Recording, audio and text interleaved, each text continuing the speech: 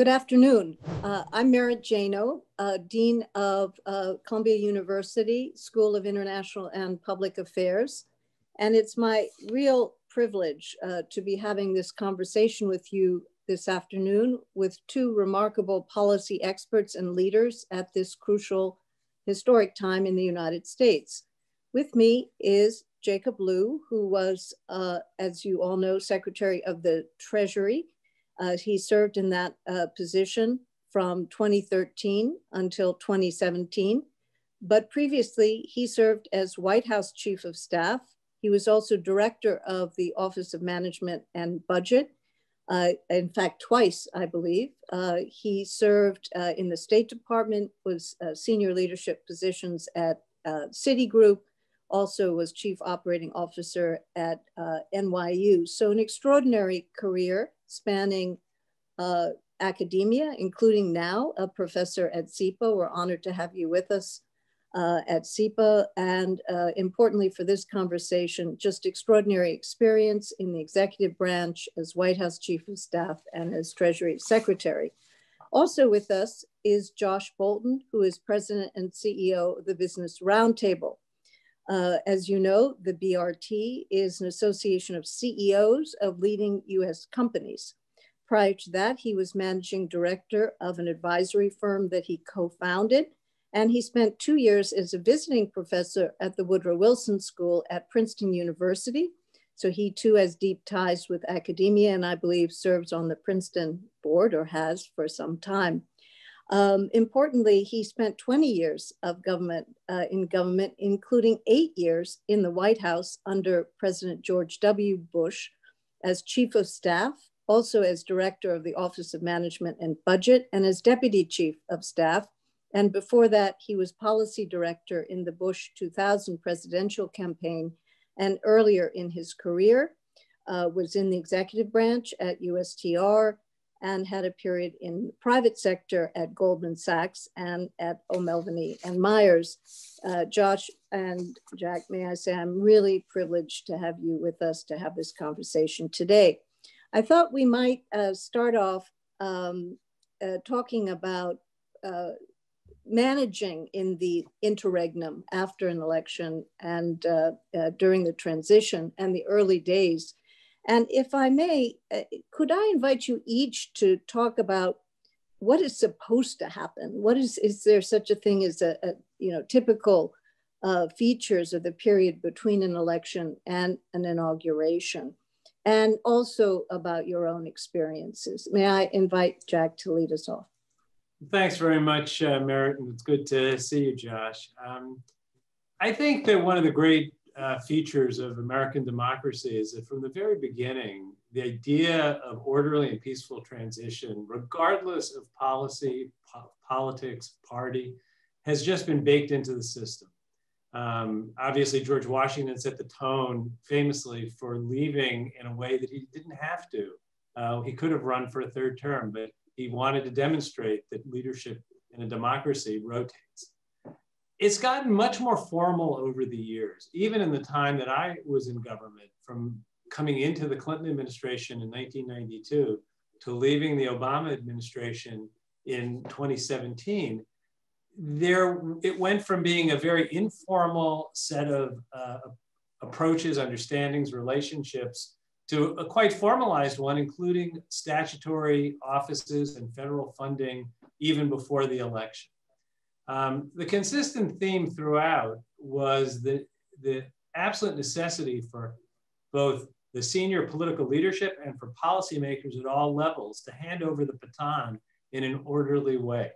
Just a couple of, of you know, stories. Um, you know, this is not the first moment in our history when there have been questions about the outcomes of elections. We've always gotten through it in an orderly way. In fact, I think there's less of a question now than in uh, recent history.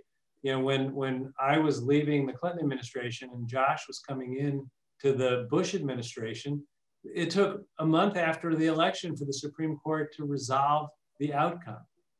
In the month before the, from the election to the Supreme Court decision, it was that informal process that remained in gear with people preparing briefing books and getting ready and not knowing whether they were going to need to use them or not. Literally, the day the Supreme Court ruled, I remember sitting at my conference table in the old executive office building with a half a dozen senior budget policy advisors to the incoming president, um, who now had half the time for a transition. And I remember saying to them, you know, there's an office right down the hall from me. It's yours. You can use it. It wasn't required by law to do that at the time. Now it's required by law. Um, and the staff of OMB is fully available to you. Here are the briefing books, use them or not. Here's the baseline we prepared, use it or not. And um, I said, I'll only give you one you know, condition. One is anything that the staff is doing for me is between them and me. Anything the staff is doing for you is between them and you. And these are people I care about and you're going to grow to care about. You can't kill them in the process. They have to come out the other end, and you need them to come out the other end. Mm-hmm. And I think everyone honored their part of the agreement. I didn't agree with the policy being made down the hall. They didn't agree with the policy being made up the hall. And it was an orderly transition. I mean, I have to say that the story of that transition was marred by a prank the removal of a key on a keyboard, the W key on a typewriter. And it came to kind of symbolize, you know, an ungenerous kind of transition, when in fact, what I did at OMB was what the president and the chief of staff had told every agency to do with the incoming administration. And uh, I think it's a lesson that you have to do these things in a way that both works and appears to work. And you have to tell people in the organization, no pranks, nothing that is going to tell a story that is other than the story that is the right one, which is we hand over power in a peaceful way. And I'll hand it over to Josh now, but just say that he set the tone in the transition from President Bush to President Obama in an extraordinarily powerful way one that was remembered for eight years in the Obama administration is kind of writing the book for how to do it. Uh, because everyone came in feeling that they had what they needed, they were treated with respect and courtesy. And it's hard, and even if you do it extremely well, everybody leaves, everybody comes. But um, it was done with that same kind of grace. Thank you very much. Josh, you were you were there to receive that uh, incoming experience as well as uh, uh, just spoken of in outgoing. But what is your sense of what the process is supposed to be uh, as well as your own experience? Um, well, first, Merit, thank you for the opportunity to be with you and uh, for the audience to know Merit and I were colleagues uh, now 30 years ago at the uh, at the U.S. Trade Representative's office, and it, it's it's a privilege to be on a program that you're hosting and a, and a particularly big privilege to be with my friend Jack Lew, who, uh, who really is one of the, uh, the finest public servants of our age. And, uh, and, you, and you just heard why, which is that uh, he, he reflects a caring, he's, he's got a partisan point of view, trust me. Um, but he reflects a caring about the country that, uh, that we like to see in all of our public servants, and uh, Jack is among the best. Um, I was on the uh, I was on the receiving end of the um, of the of the uh, Clinton to Bush transition. It it it was a it was a peculiar one, um, but it actually happened even roughly the way it, it at the time it was supposed to happen which was that the, as a matter of, of grace and dignity and caring about the country, the outgoing administration uh, were actually uh, very cooperative with the, with the incoming Bush administration. Um, a lot of that has now been codified into law. There was a, uh, there was a transition act adopted in, I think, 2010 um, that now puts a requirement on the outgoing administration to make a uh, make money available, make space available, allow the um, the incoming team to uh, put what are called landing teams into each of the agencies. That's what Jack was just describing was the OMB landing team that I, Jack, I wasn't aware that they landed in your office the day of the Supreme Court, uh, the Supreme Court ruling. But I'm, but I'm not surprised because um, uh, that's where that's that's one of the hardest areas of transition, which is to take in midstream to take over a what at the time was, I guess, about a three plus trillion dollar budget is now a four and a half trillion dollar budget. Um, but uh, Jack was known to be careful with the public purse, and and so it was only three trillion at the time. Uh, but uh, that was one of the areas where, uh, as the incoming Bush administration, we really we really felt we were we had a problem because we had only half the normal transition, and um, uh, and so there was a lot of work to do, a lot of a lot of things to get hands around, and uh, Jack and team were very uh, were very gracious and cooperative. Not because they supported our agenda, as as Jack just said, but um, because it was important that the, the country be be run competently, and so that's what people have come to expect uh, over the over the course of years. Um, you also expect the occasional prank, um, like the, the removal of the, uh, of the W from the keyboards, um, uh, which actually, when I got to my desk, I, my keyboard did have a W on it. The prank that I was a victim of was that uh, my phone had been forwarded somewhere else. so that, so that, and I, and I did not know how to unforward it so, so my phone calls were were going someplace else. But but let At me least say, you had a phone, Josh, in the Clinton transition, and we didn't have phones. No phone, yeah, no phones.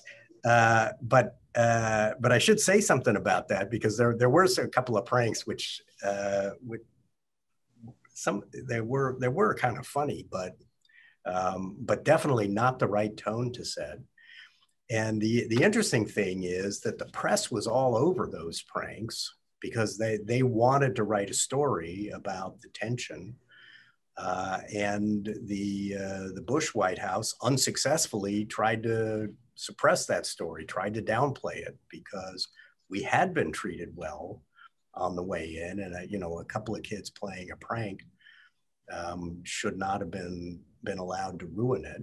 Uh, and from a substantive standpoint, uh, they didn't. But that's what uh, the kind of transition that Jack led at OMB and the Clinton administration led, um, even before the statute, is what the American people have come to accept, even when there's there's a bitterness between the outgoing and the incoming. Um, and uh, it's it's what I think the American people should uh, should insist on going forward. Interestingly, it's sometimes also a time when the sitting president, you know, tries to maximize his influence over some issues uh, uh, uh that that he cares about. Um, and also where you know presidents not uncommonly pardon people uh, or take other actions, you know, during that uh, interregnum period. So, do you think it's typical for a president to try to also push their policy into whatever form they think will give it more durability uh, or make it harder for the next incoming to unravel? I wonder if you might comment on on that dimension. Well, for you know, I, I don't. I, I, can speak for two end of term experiences.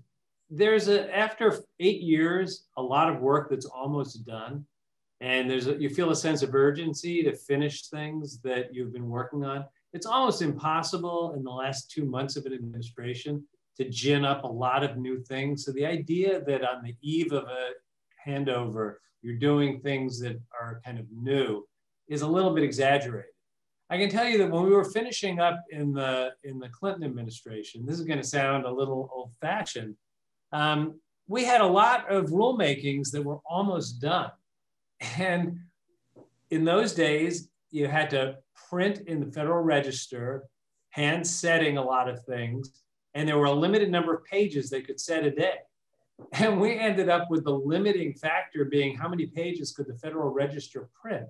And we had a meeting every few days where the chief of staff, the director of OMB, and the head of the Office of Information and Regulatory Affairs went through the half a dozen or a dozen priorities and the number of pages to figure out the way to maximize the ability to finish our work in the last month. That, that's the kind of stuff that I'm familiar with at the end of the term. It's not trying to lock in place new things you haven't thought of. I frankly think that it's almost impossible to do that effectively because to build a record that will withstand scrutiny and legal challenge, it's too late to start in November if you want to have major policy made uh, in a rulemaking by uh, a transition. Um, personnel, you know, there's a history of, you know, some administrations more than others burrowing in and putting political people into places where they can stay on. Um, I frankly didn't experience an awful lot of that on either end, um, you know, coming in or going out. A little bit, uh, but but you know, nothing that that struck me as being um, uh, remarkable. Um, mm-hmm. I think it would be a problem if uh, an outgoing administration were to not leave the system functioning for the incoming administration so you can't break it on the way out. Um, mm-hmm. and, uh, and, I think that's what what has been kind of consistently done, maximizing, in, in my experience, maximizing what you do in your term and handing over, you know, as close to a well-oiled machine as you can make our complicated federal system. Mm-hmm. Mm-hmm. Just, uh, Merit, just to echo uh, what Jack said, um, yeah, I think the the concerns about midnight regulations and so on are um, that it's it's it's a legitimate concern, but it's overblown because um, the stuff that's really hard for the next administration to undo when they walk through the door is stuff that takes months and sometimes years to put in place. So it's not.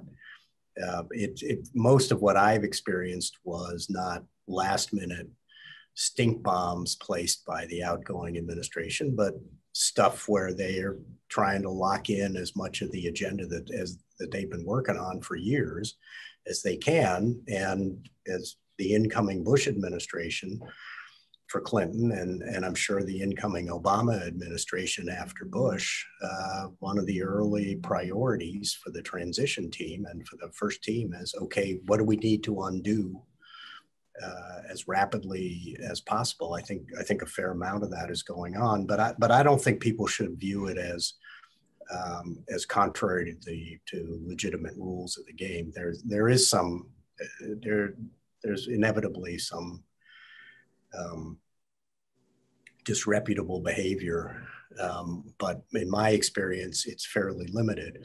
I, I want to say one other thing though that neither Jack nor I mentioned about the transition, uh, and it was a, a message underscored uh, to me by John Podesta, who was chief of staff at the time the uh, Clinton administration was outgoing and Jack was budget director. Um, and the message is only one president at a time. And, and that needs to be communicated very clearly to the folks who are coming in.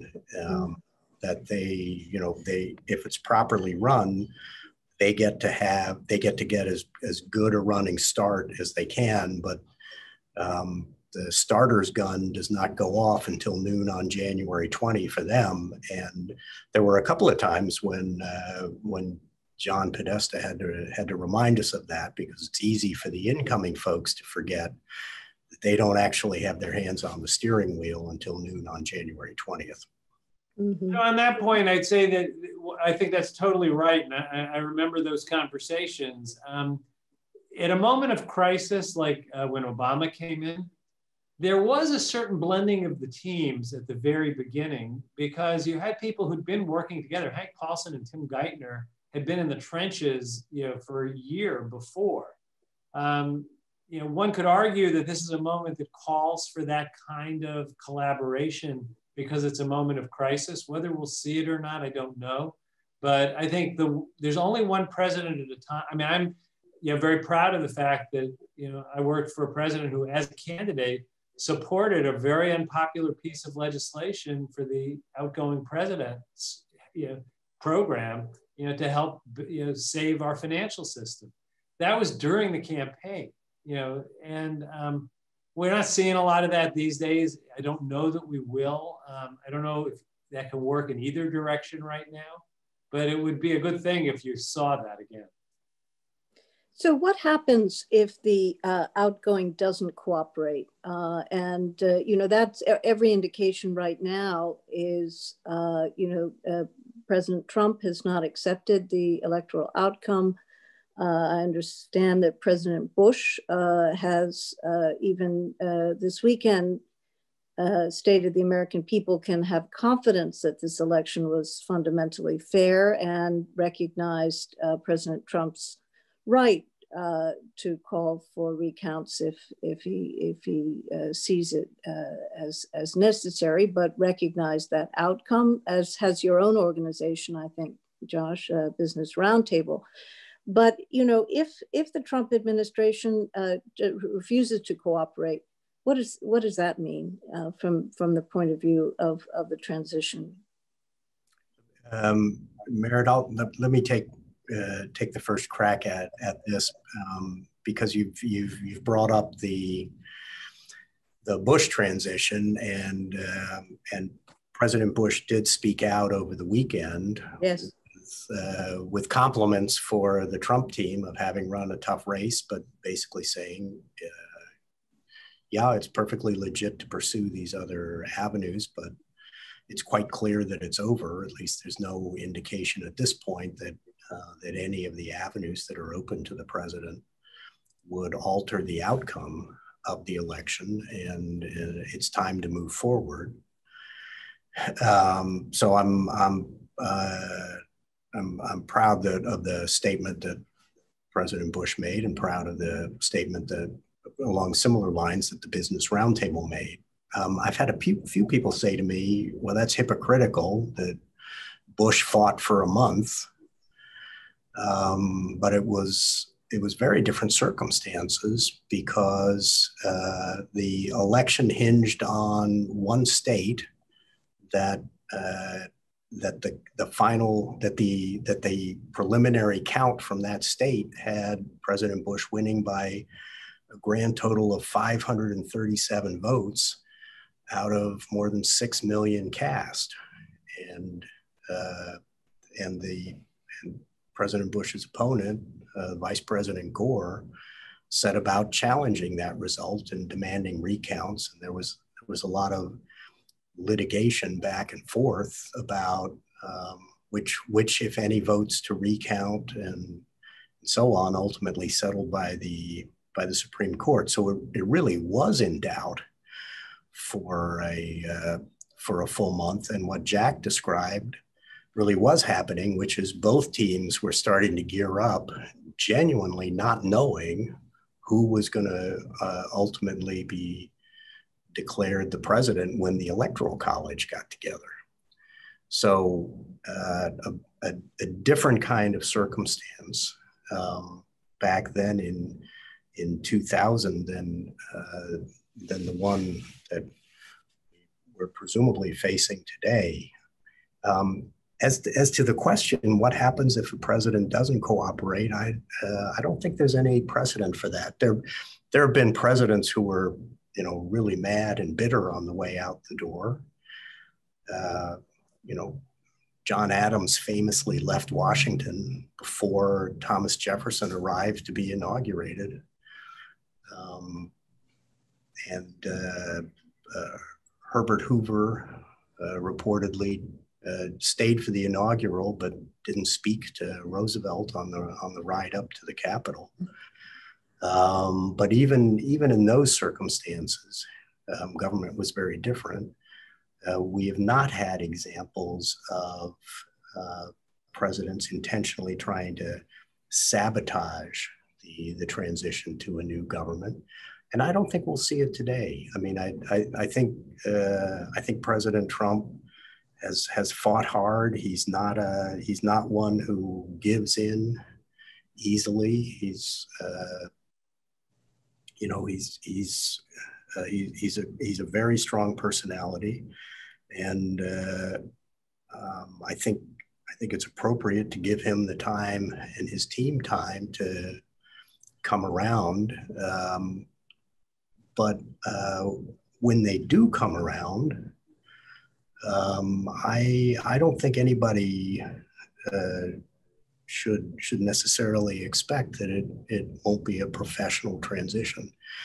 Um, and and people should be aware that the transition isn't you know isn't just one man to another. It's it's a whole government, and there are there are a lot of very capable professional people and good public servants serving in government today who uh, who I know uh, when the time comes will want to do the right thing and um, and have a have a professional and dignified transition to the next administration.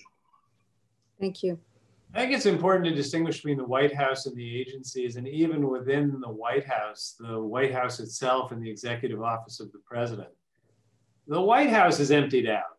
You know, the ever all the offices and the West Wing, literally at the inauguration, they pull up the carpet, they put down a new carpet, they paint. You walk in, and it's like an unoccupied space. It's a little bit um, uh, of an out of body experience, the beginning of an administration, to walk into the nerve center of the United States government and have it be like no one had ever been there.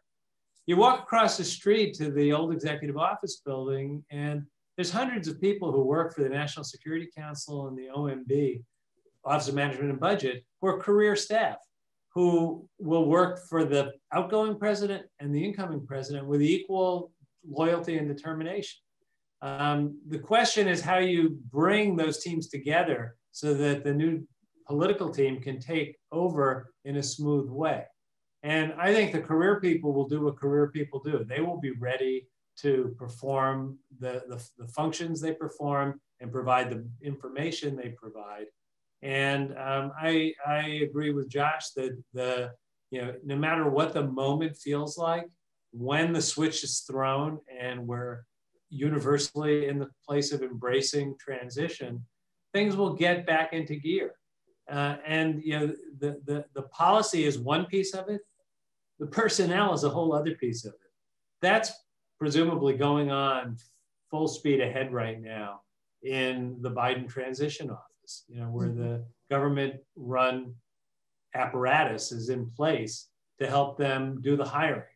So, you know, I, I, I think when you add to that the fact that both Pres- President-elect Biden and many of the people around him have vast experience in government, they could, if they had to, sit down and draw a map of the West Wing and could decide where everyone sits without a briefing.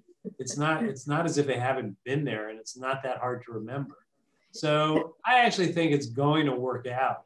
Um, mm-hmm. And the question is, what does the country and the world see, and does it reinforcing or or or undermining faith in uh, democracy and orderly government? Mm-hmm. Um, and uh, I hope that we get to through this period with the answer being, uh, in the end, uh, it's another orderly transition that's seen that way. So we have, well, thank you. Uh, really interesting perspectives. And of course, you know, what happens in the next two months is going to matter a lot for COVID and for our economy, uh, just enormously important. So, uh, I, I, mean, there's some hope, I, I think, should we think there could be a phase four recovery bill? I mean, it's, uh, for example, in this period, can you imagine that kind of proactivity or, uh, or do you think that's, that's really at this point um, uh, unlikely to, to, to, to be able to move forward? Well, I can answer unambiguously what I think is the best thing for the country. Um, I've thought for months now that uh, every day we wait is waiting a day too long, and it's going to slow down the recovery and diminish uh, the ability of the economy to bounce back and cause a lot of unnecessary pain uh, if we wait. Um, I think it's a political question whether it can come together. Um, I see many scenarios where you could come together this year. You know, Mhm. wasn't that many, uh, there weren't very many issues sort of separating, you know, Secretary Mnuchin and Speaker Pelosi just 10 days ago. Um, obviously, the circumstances have changed. If you start from there and do some adding and subtracting, um, is there a majority in Congress that would support doing something? I believe so. Um, and there will be political calculations made of if we do it now, is it better for us or worse for us next year? Ultimately, I think that it's going to fall to the leaders to decide are we going to step up and do something that's in the best interest of the country and deal with the politics next year? Um, mm-hmm. Is there going to be a partner in the administration? Will they be actively engaged? Are they going to be disengaging from this moment forward? You know, it's a little ironic if, on the one hand, you're denying that the outcome is clear to pre- expect disengagement you know, when most administrations hold on to the last minute. I think they'll remain engaged, certainly at the level of the, of the agencies and the people who do the work. So I'm an optimist. I actually think there's, there's a reasonable um, uh, likelihood that something comes together this year. Will it be everything Democrats want? No. Will it be more than a lot of Republicans in the Senate want? Yes. If they mm-hmm. can't come to some space that leaves everybody with a little less than what they wanted, but better than doing nothing, they won't be in agreement. Mm-hmm. Uh, so, so can, Josh, I, can I throw in a can I throw in a welcome note of pessimism? First, I, I completely agree with Jack on the on the importance of, of getting the, the relief out there. Um, and uh, in my day job at the Business Roundtable, we've we've strongly put our our weight behind that. Uh, not because there's money in there for the, the CEOs of America's big corporations, there isn't, uh, but because there's, uh, but because the uh, America's great corporations need need customers, they need employees, they need suppliers who are who are supported through what hopefully will be on, only a few more months of this crisis, but could be quite a bit longer. My note of pessimism is that um, I think it's uh, um, I, I, think it's actually helpful the prospect of a Republican Congress toward reaching an accommodation because if we were in a situation where Democrats had clearly held um, or had, had clearly had a sweep, Republicans probably would not have been in much of a mood to compromise over the next two months. And Democrats would be inclined to wait for when they've got uh, they've got their hands on all of the levers of power and can do what they want in the legislation.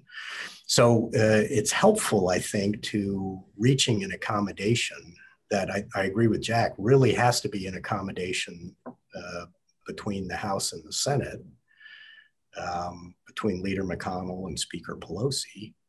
Uh, but there's enough ambiguity about um, control of the Senate now that uh, that both of them may feel like they're they're advantaged by waiting, and so um, I fear that the political dynamics um, may not prove all that much more helpful over the course of the next month than they have over the course of the preceding six. Mm, I wish good. I could say I strongly disagreed with that. That is my fear. Yeah.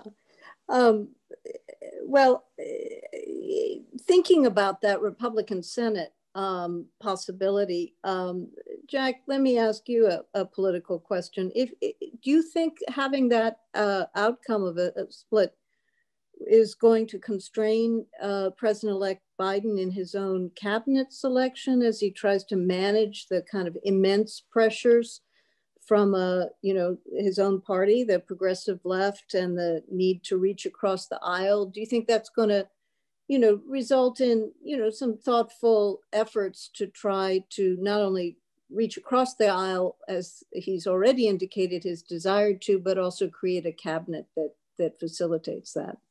Well, it's not just something he said in the last couple of days. It's the way Joe Biden has lived his very long life in public office. Um, I can't tell you how many times I sat next to him in negotiations with Republican leaders, with Leader McConnell, and um, there was never the hint of anything other than constructive engagement to try to get things done. He, he never viewed the other side as the enemy. This is not just a, a, a a latent uh, career awakening. Um, you know, I think presidents usually get most of their cabinet. I think he's going to be free to choose. There might be some individual who strikes a particular chord that is held up. My experience uh, with the Republican Senate was it was Democratic objections as much as Republican objections that made uh, confirmations challenging. It wasn't necessarily partisan in that way. Mm-hmm. Um, I think uh, he'd be well advised to have a diverse cabinet that speaks to the need to bring the country together, to heal the country. Um, it's a moment of crisis. I hope it's also an experienced group because it makes a difference if there are people who have done it before who know what they're doing. Um, I think it's going to be a question of, of getting the, the balance right. Mm-hmm. You know, there's no question that having a divided um, uh, Congress uh, means he can't just come in and you know enact his whole campaign platform. You know, the dirty secret is that if it had been if it's 50-50, there's a few Democrats that it's hard to bring over on his whole platform. It would have still been a challenge. Mm-hmm. Um, the question is going to be: Is there a willingness to work on a bipartisan basis? And you know, we've seen moments of that in the last 25 years, and we've seen uh, years uh, when that wasn't the case. Um, if there's any willingness to work across party lines, I think there's you know, there's a almost universal acceptance of a need for a big infrastructure investment. You know, shame on us if we can't figure out a way to do it that both parties can vote for. You know, if if um, there's there's an issue like immigration reform if that had been put up to a vote in the Senate, there was bipartisan agreement on immigration reform. You know, all these issues divide caucuses apart. Leaders have to be willing to put up for a vote issues that sometimes have some of their own party unhappy. You know, when President George H.W. Bush put the camp, the, the, the Andrews Air Force Base budget agreement up, it lost the first time.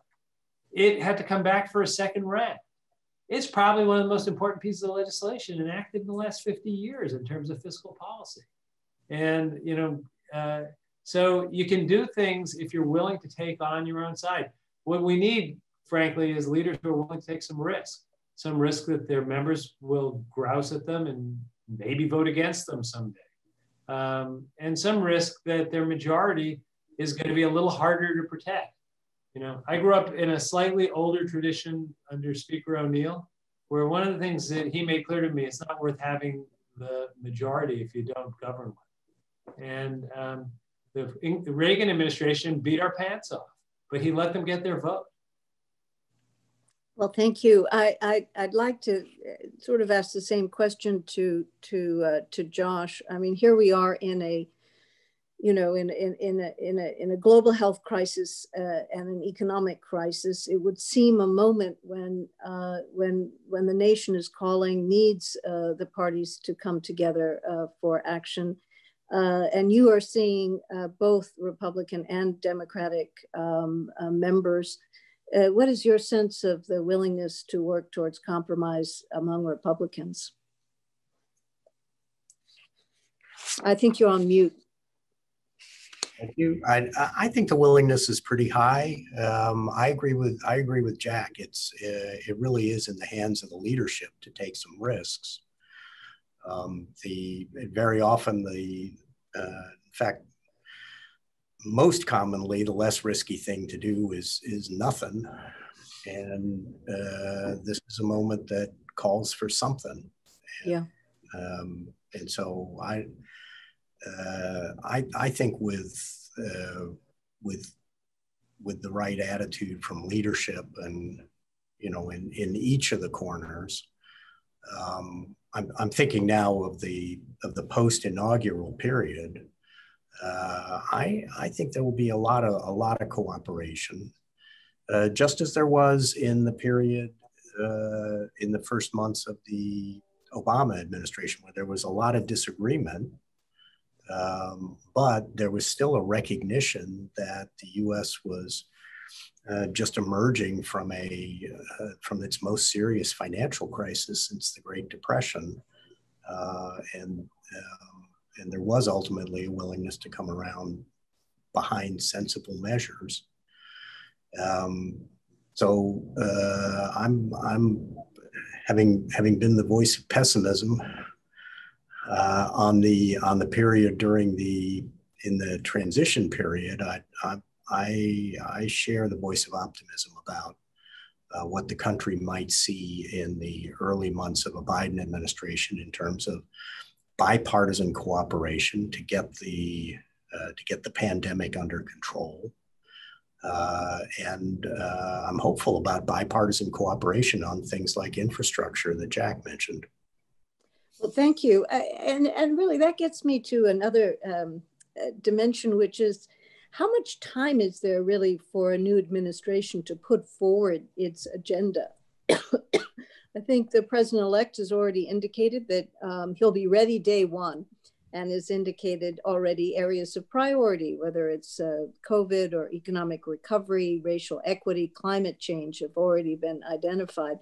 But one might imagine that he needs to walk in with that legislative package pretty prepared, uh, at least conceptualized, and um, and yet you don't have all the information uh, until you're in office. So I wonder, Jack, if you could speak to that. How um, how much time is there uh, to develop and launch um, as of January 20th? I, I, I, think the Obama administration was signing executive orders within days.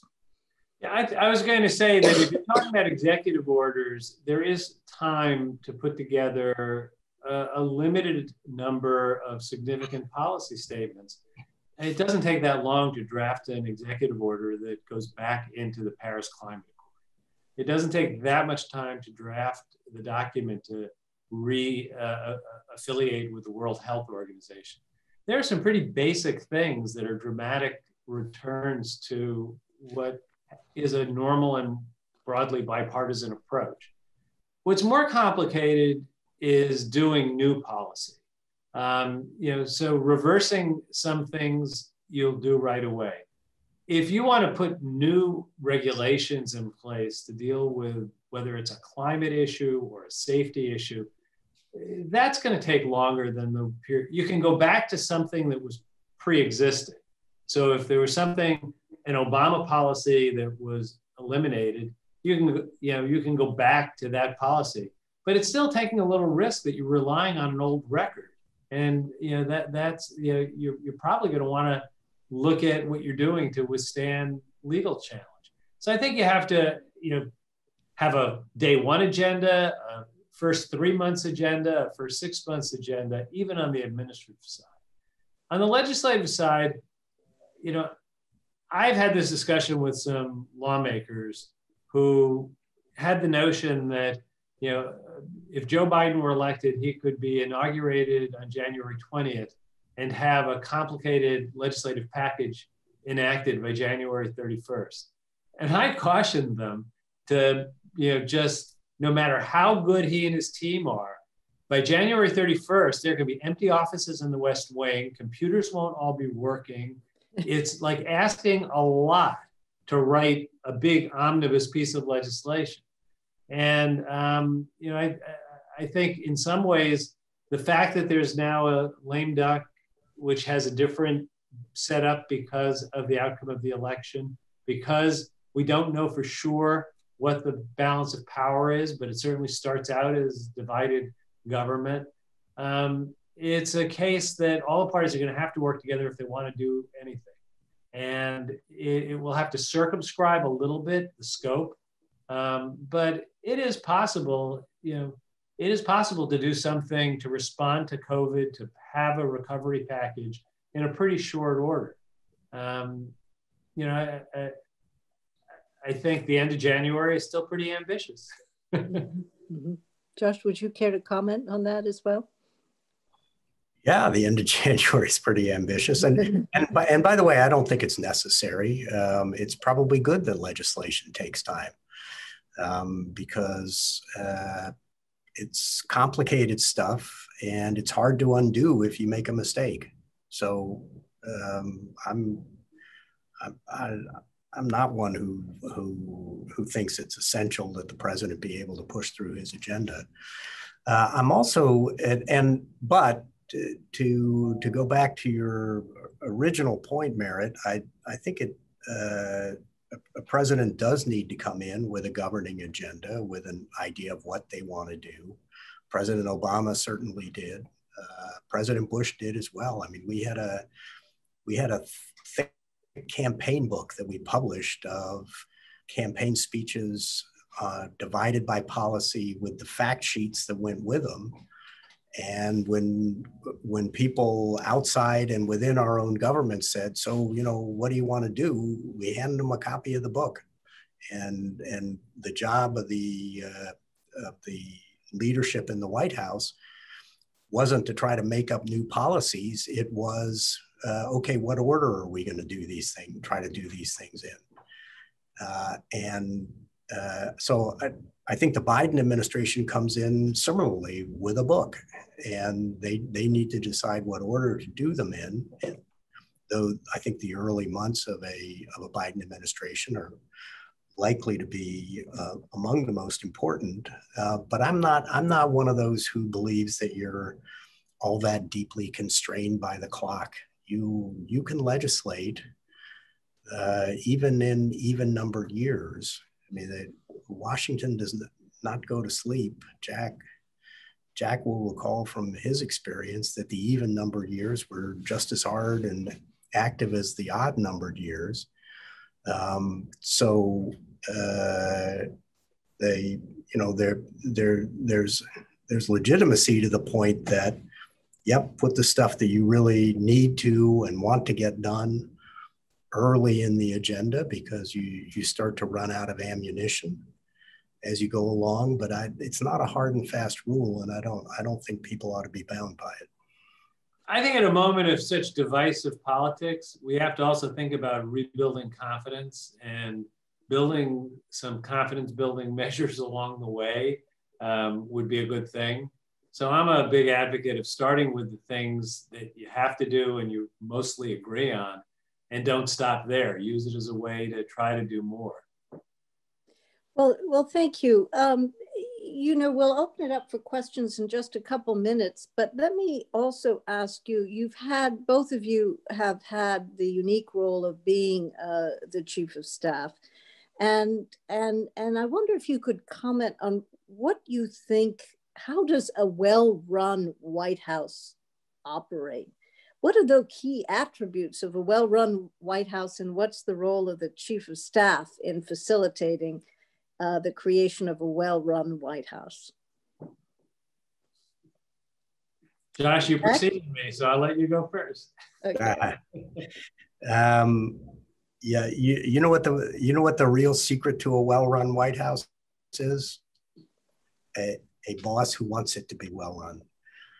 And uh, and in, in my case, that's where that's where it started. George George W. Bush uh, liked an orderly process, um, and he uh, despite having a reputation as as the decider, uh, he he liked empowering people below him to do their jobs properly, which is exactly what he did for me and my predecessor Andy Card, who was a superb chief of staff as well, uh, as well as Jack. I'm not as not as well as me. Um, You'll let me add you. uh, but uh, he empowered us, and and that's what that that's where a well-run White House begins, which is the president saying, um, "I want my White House to be organized. I want it to be disciplined." And I'm empowering my chief of staff to uh, to run a fair process, and and but that's the other element, which is that discipline breaks down principally when people don't think the process is fair.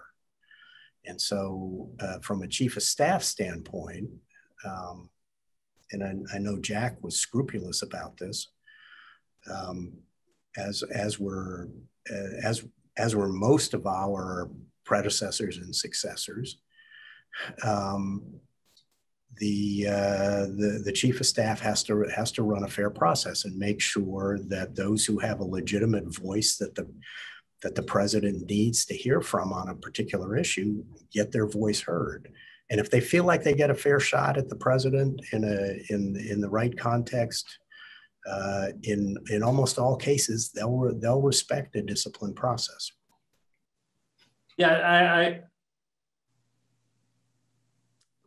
Um, I Jack? think I just got disconnected. I'm trying to get No. back. no, you're here. We hear you. Okay. well. Um, you know, I, I 100% agree that it, it starts with the president. Um, uh, a president who makes decisions um, with the person he happens to be with uh, is very different from a president who demands that things come to him or her through a process where all voices have been heard and he or she gets to see all sides. Um, you can't manage around the president. The president is the White House. Um, the chief of staff, um, uh, at different points in the process, plays different roles. I was chief of staff in an election year when the president was physically away campaigning three, four days a week. And um, my challenge was to make sure we could keep making hard decisions where everyone felt their point of view was being taken into account, even if they didn't get the face-to-face meeting they might usually get. And, um, and it was important for the president to make clear to people that he knew what they thought so that that process was self-reinforcing so that it didn't, the process didn't have to jam up based on could we get a meeting? Because the answer was in 2012, you probably couldn't get a meeting. And um, you know, in a normal year, in a normal time, um, how you use the president's time, how many people he or she gets to see, um, is a big factor in people buying into the process. There's no substitute for someone being in the room, hearing their point of view presented to the president. The president makes a decision. They've got nowhere to go to say that they weren't heard out. Um, and in a good White House, in a good operation, it doesn't have to be a White House, a team comes together behind a decision. If people have moral problems with an outcome, you can resign and protest. But most things don't come to that. Most things are a question was, did, did I get to be heard? And, um, you know, I, I considered it actually equally important that people viewed the chiefs of staff office as a place where they would air any of their concerns so that the president wouldn't get kind of out of left field something that other people hadn't had a chance to think about and process. Um, so it kind of goes both ways. You have to be heard, but others have to hear you, and it has to go to the president in an orderly way. I mean, when we had, you know, there's a tradition in many departments, many positions of, you know, formers having a, a meeting or a meal with an incoming. And um, I remember that conversation we had with the incoming chief of staff, where we told, you know, the same kinds of things that we're saying here. And, you know, it must have not fit with the personality of the incoming president. And in fact, the experience of chiefs of staff in this administration have reflected that. Um, but presidents get what they want. Um, if they want to make decisions themselves, they get to make decisions themselves. And a chief of staff can't correct that. Mhm. But uh, one imagines that, uh, you know, that as a chief of staff, a White House chief of staff, you know, you can play in a really crucial role in, um, in, in identifying the types of issues that become presidential. I mean, you want to keep things that don't feel of a presidential nature away from uh, the president. And of course, that must be a learning process. Um, and uh, so uh, the incoming is going to have to sort that out and figure out how to get, of course, as you say, this is a very experienced group. But I wonder if you have any comments, Josh. I think you've spoken to this issue a bit publicly on how you think about what is a presidential issue in creating a process and of course, you work for a president who liked to make decisions himself and uh, reportedly uh, liked to hear alternative viewpoints as well. Um, I wonder if you might comment on that. Yeah, President Bush did, uh, but um, I think for for any president, a, an important role of the chief of staff is to do the sort as to what what's a presidential decision and what isn't. I don't, uh, may, Jack's experience may have been different, but I don't recall ever telling a cabinet officer or an assistant to the president that they, they couldn't be heard by the president. I did tell cabinet officers that my advice to the president would be uh, my advice that I would I would give them advice that this is not a presidential level decision. Let's try to resolve it below the president, and if necessary, at the chief of staff's table. Uh, but maybe through the National Security Council, through the Domestic Policy Council, through the National Economic Council, there, there are fora where we can, we can hash these things out. And my advice is that we not take this to the president, but I will take it to the president if you ask, but I will also tell the president that I told him that I didn't think this warranted his attention. And if he agrees, he's going to be pretty damn mad at you. and I never, I never had a cabinet officer push beyond that. Uh, and they, you know, they they agreed to the sort. If it is a presidential issue, then the chief of staff's job is to is to do exactly what Jack was talking about, which is make sure that it's been prop the arguments have been properly aired and sorted out below the president so that when it gets to the president it's a coherent conversation uh, with sides reasonably well lined up and and presented in a way that you make it possible for the president to make a, you know a reasoned decision. It's it, and it's probably not an easy decision if it got all the way to the president. The pre- president doesn't get to make any easy decisions. Those those happen below but the, uh, the last point I make is that the, the interesting thing about the role I had was that I found that, you know, once we'd gotten everybody together uh, and, and the arguments together in front of the president, and Bush in particular loved, you know, he really wanted to hear the disagreeing points of view. Um, and he wanted to sort them out and, and uh, and, and take on the tough decisions. He liked that part of being president. Um, I often found that my role in that process was to provoke disagreement because a weird thing happens even when when alpha cabinet officers walk into the oval office they kind of take the edge off uh, either I mean, there's a lot of reasons why it could happen. One of them is that they feel bad that they're dumping a tough decision on the president's plate. Uh, but that's what the president is there for. And so I often found that my role was to provoke them into being as sharp in their disagreement in front of the president as they had been outside of his hearing, because I, I think that's the way you really respect the president and his authority you know, having worked for two presidents um, and having seen how two very smart and detail-oriented people can have different styles, it's just interesting for me to observe that you know, President Clinton had the patience in some ways to hear the same argument made five times. You'd go around and everyone, President Obama had every bit as much interest in hearing all the arguments. But if you were saying the same thing as the person before you, all you had to say was, I agree with A. I, you didn't have to take five or 10 minutes. He wanted to hear the different views. And um, there is a tendency when people are in the room to want to talk and, uh, and they don't just like to say, me too. So with you know, different presidents, you have to structure how it's presented in a way where they hear where everyone is in a way where it doesn't test their patience. Um, uh, and in the end, they have to make the hard decision. You know, uh, what Josh said about the easy and the hard decisions could not be more true.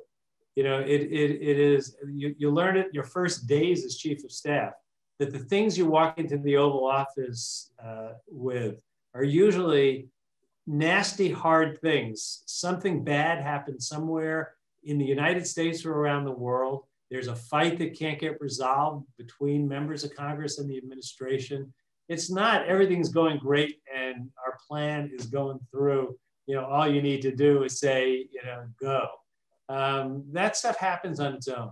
Yeah, and uh, and you have to set a kind of a budget, as it were, for which bad issue warrants his attention, which hard decision warrants his attention. Because by the end of the day, you've had a lot of them as president of the United States, and you got to make sure the most important ones get to him in a timely way. Mm-hmm. Well, thank you very much. I think if you don't mind, we'll turn to a few of the questions. We have several hundred people with us today, and I thank you all for joining us. And I'm seeing a variety of questions, some very specific, some very broad. Um, a couple have been uh, aimed at the question of how important is it that the General Services Administration administrator is refusing to sign the letter allowing uh, the Biden team to begin its work. Uh, is that a significant matter or, you know, we won't be hearing about that next week? Either of you wish to comment on that? Jack, I'll, I'll, I'll, take the first one because I, um, I'm on the advisory committee of a group that, uh, that uh, a nonpartisan group called the uh, Partnership for Public Service, which is a which is a great group that Jack knows well and has, has collaborated with many times. Um, but there, we we sent a letter to uh, uh, to the administration saying it's time. Uh, now that the result is clear, it's time for the the head of the GSA to uh, do what's called ascertainment, which is uh, the the GSA administrator is in the weird position of determining whether it whether the uh, the next whoever is going to be president is clear for purposes of making the making a variety of government resources available to um, that candidate's transition team. The most and, and this is a, largely a product of the 2010 legislation but the important element uh, now is that um, the uh, the transition team, the, those landing teams that Jack was talking about at the outset, they don't have the right to go in, and, and they don't get the invitation to go in until the GSA administrator has done this uh, this ascertainment. So uh, it's um, uh, it's an important step. I, candidly, I, I don't think it's a critical step today or tomorrow, something like that. Jack Jack's right about the Biden team. They there's a lot of this work they can do without getting access into the in, into the administration, um, but they ought to get it, and they it, uh, and they ought to get it relatively soon because there's a lot of important work to be done. There's a lot of important handing off to be done especially in those areas where the country is currently in crisis, namely the, uh, the economy and especially the, uh, the pandemic crisis. So, uh, yeah, it's important. It, I, I don't think it's a, I don't think it's a three alarm fire today, but if we were still talking about it uh, as the electoral college is preparing to vote, I, I think that would be a big mistake all around. I agree 100%. The sooner the better. But um, it's not a disabling um, delay if it gets resolved quickly. Um, mm-hmm. I actually think that it has more of an impact in terms of the, the kind of strength of our system than on the quality of the transition. It, it's unseemly for there to be a squabble about, uh, uh about orderly transition. So I hope it's resolved quickly and mm-hmm. it does become a problem if it gets into December. You know. Mm-hmm. So we thank you. So one uh, question we have received is is really trying to say, you know, when does the president elect begin to receive security briefings um, that that give him the same information that's provided to to the current uh, the the sitting president? Um, is that dependent on what we've just been talking about, or or is that automatically uh, begin at a certain point? Well, in fact, the tradition is to offer it to candidates uh, to get security briefings even during the campaign. Um, so it can be done by the authorization of the current president and the intel community. Uh, you know, doing it. It's not exactly the same during the campaign, but the idea is that one of the two people who's going to be president of the United States ought to have situational awareness of major things. Um, that gets more detailed as soon as it's clear who the president elect is and the president elect chooses to participate in, in briefings. Um, you know, uh, again, I think the sooner the better. Um, but the people around President-elect Biden um, are some of the people who used to produce those briefings, who have remained current in the in the world of policy and intelligence. Um, I don't think it's zero or hundred percent. I mean, he has got the capacity to be briefed um, without the, the, the formal presidential daily brief. Would it, would it be good if he gets more sooner? Yes.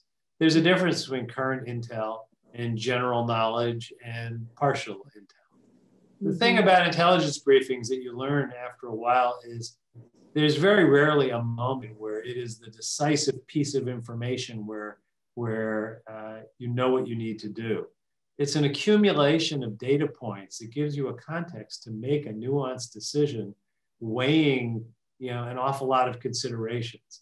And getting that into your head on a current basis sooner rather than later is a good thing, especially with so many troubled spots in the world. I'm, so I'm in. I think, Merit, I think that's the best description of intelligence briefings I've ever heard. So thank, you for putting it in context, Jack, because I, I think a lot of people, even sophisticated people outside of government, do get the impression that uh, the intelligence briefer walks in and says, uh, Al Qaeda is about to attack the World Trade Center, and and uh, you know we need to do something about it. You, you, it's it's much more ambiguous and nuanced than that, and uh, its utility does come in setting context rather than in uh, in in driving a particular piece of knowledge um, on which action is required immediately. Mm-hmm. So we've already heard today that um, uh, the president-elect is is creating a, a COVID uh, working group, a high-level group. Um, would it be? Uh, is it possible for them to interact, for example, with Dr. Fauci and others uh, uh, under current conditions? I mean, here you might imagine that that kind of technical expertise, uh, you, you know, should be informing some of the early planning uh, going forward. Is that possible or is that being held up until these procedural steps are crossed? I can't imagine that there aren't a number of members of Vice uh, President-elect Biden's team that don't talk to Dr. Fauci regularly. They've been colleagues for half a century and they're friends. So I assume there's an informal exchange of information going on and that it's not new. It would take an extreme act to prevent the informal conversation that's probably been been going on for a professional lifetime between some of the uh, president-elects, uh, senior advisors, and key people inside government like Dr. Fauci. And I, I don't anticipate that. It, uh, it'll be better when they're able to do it in a, in a more formal setting, but I, uh, I don't think the uh, uh, I don't think people should be under the misimpression that there there aren't important conversations going on right now. Well, thank you very much. I think in our uh, remaining couple of minutes, could I just invite each of you to offer, uh, to share with us, and it's, it is truly a privilege to hear from both of you, and I thank you for being with us.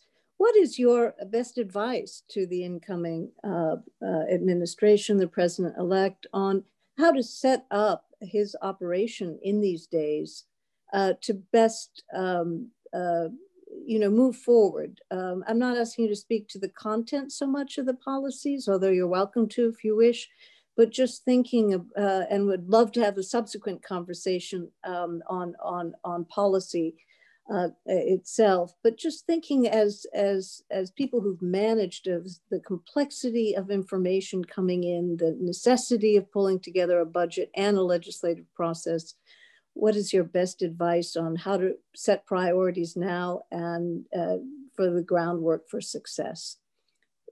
Josh, would you like to get us started? Sure.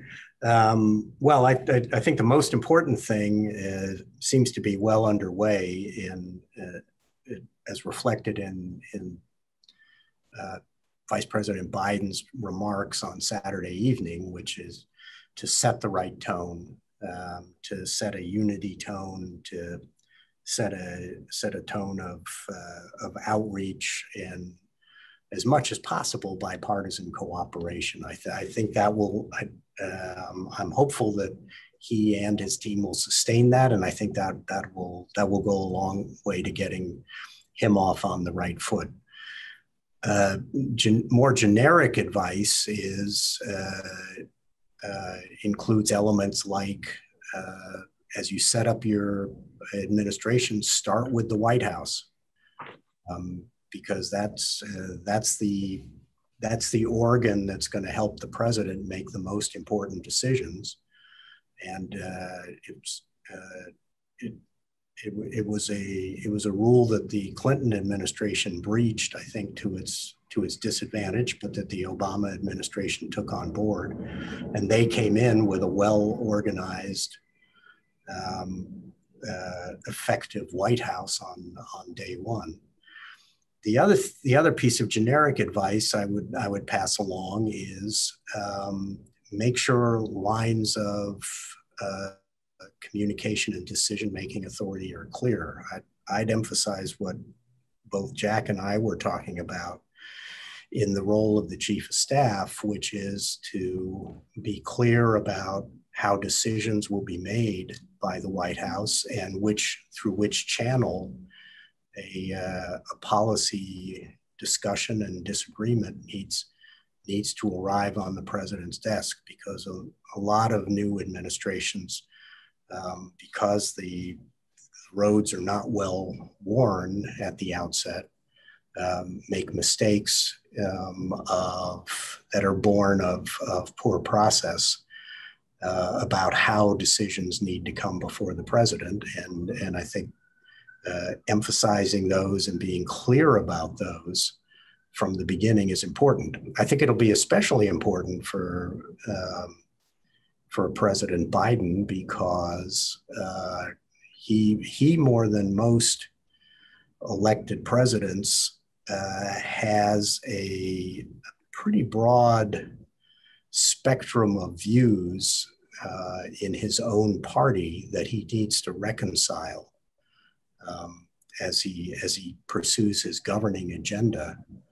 And so the temptation will be to be, to appoint a czar for this that is the representative of the progressive wing, and the you know the assistant to the president for that that will represent the the more moderate wing of the party, and so on. Um, and I, my own view is that to the extent an incoming President Biden can resist that, he will be uh, and and keep clarity about the decision making process within his White House. He'll be greatly advantaged. Thank you. You know, coming uh, into office at a moment of health and economic crisis, um, it will be easy for the new team to get all consumed with the immediate uh, moment and um, what they're really going to need to do is put everything against that problem that it takes to address it, but have another team working on the other things that are coming up next. Because time goes very fast. And um, you know, if you get a little momentum with an effective response to the health and economic crisis, you want to be able to then take the next step and have laid the groundwork so you've got to be able to, to multitask in the White House. Um, you know, hopefully it will be trying to do good things, but if something bad happens, one of the things that many of us has learned, is you got to be able to, to, you know, keep managing a problem in one place and managing the government in another place. You can't ever stop.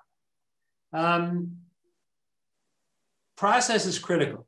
Um, the point Josh was making about the competition between different factions in the Democratic Party. When a decision is made, it's going to be essential that all the factions feel that their views were taken into consideration. You know, it's not going to work if it's all either or. And that means that it's going to take some time, and the time can't make it impossible to make decisions. So ultimately, it has to be queued up for the president to make decisions. It shouldn't be at the expense of airing what is the impact of a, a, an economic policy on the environment and what is the impact of an environmental policy on the economy. you have to be able to look at both. And um, the, the openness. Um, lines of communication have to be open within the White House, between the White House and Congress, and candidly across uh, party lines and uh, across constituencies. Um, coming out of this election, a successful first year of a Biden administration will have left the message that people are being heard, whichever side. It wasn't just a speech, you know, acknowledging uh, the election. It's a way of governing. Um, that would go a long way towards the healing if there's a sense that people are being heard. And that doesn't mean leaving behind the people who are at the core of your, your own constituency. Um, I think these are hard times to do that. Um, you know, we haven't uh, we haven't had a rich tradition of being open uh, to disagreeing points of view.